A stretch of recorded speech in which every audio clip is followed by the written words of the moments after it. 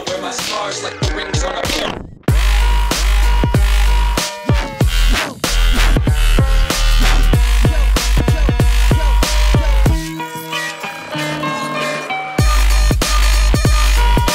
Atmosphere, it's just a